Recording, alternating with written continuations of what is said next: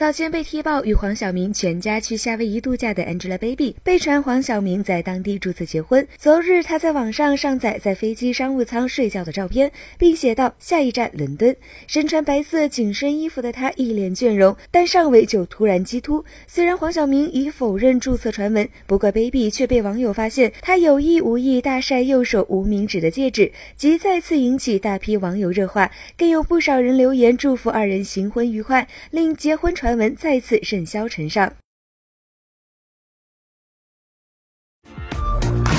搜狐视频那是极好的，我是孙俪。